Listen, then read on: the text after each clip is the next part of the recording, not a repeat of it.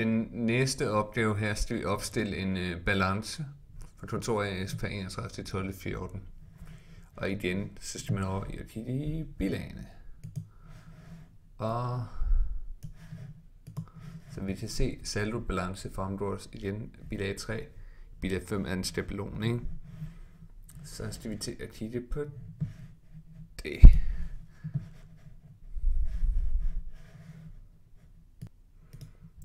Altså igen med udgangspunkt i bilag 3, og så skal det så være bilag 5, men så hvad hedder det, nu sætter tingene ind i. Hvis vi ser på, hvad andelsaktiver der er, hvad biler der er, så skal vi overse i bilag 3, okay, hvor er biler, og biler står her. Der er følgende andelsaktiver.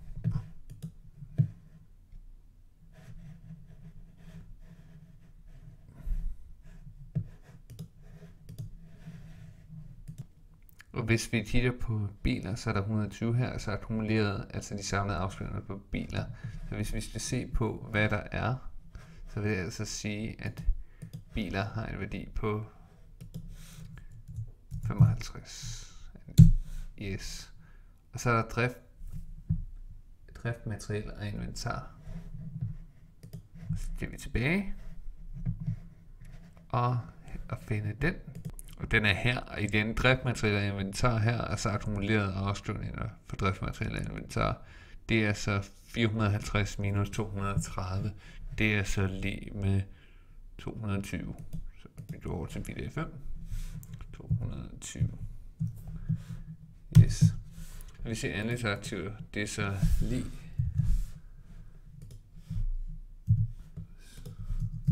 ...275. Så er der omsætningsaktiver, bare lager til at starte med. Bare lager, så skal vi over kigge her. Og varelager det er 1200. Til love for salg. Det er 23. Personale afgrænsningsposter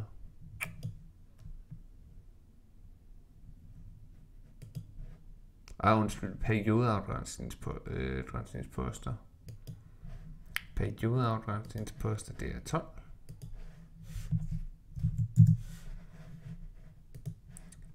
Øh, I kassen er der 20. Bankindstående 34.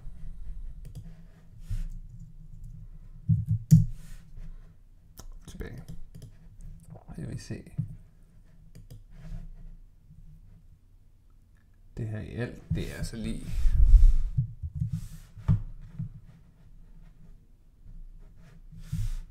Undskyld. Så bruger vi funktionen autosum.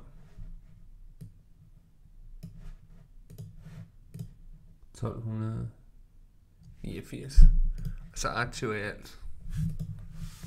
Det er så lige. Nej, undskyld.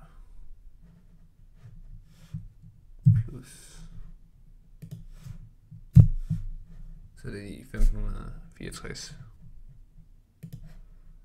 Hvor BD selvfølgelig det er interessant, for der er ikke noget der. Det er der lige. Godt. Her så skal vi over til på passiv.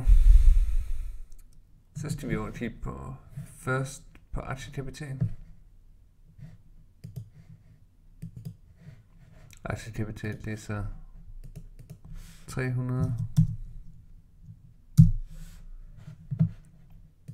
Så skal vi over kigge på reserver. Det er så 100. Så skal vi også se på overført overskud. Det er så de 30.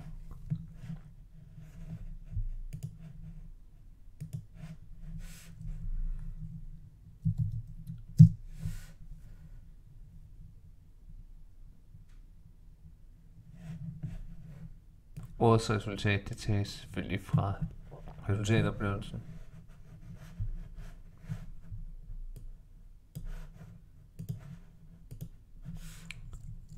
Det er 237.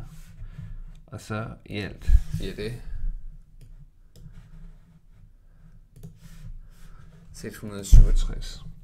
Langfristet lån, det er, hvis vi skal kigge på... Øh, okay, og hvis vi så sætter de forskellige tal ind i forhold til gældsforpligtelser, så kan vi se, at i alt ved aktiverne og passiverne gå op. Det er altså bare at overføre de forskellige gældsforpligtelser fra egenkapital i forhold til det her. Det er det opgaven går ud på.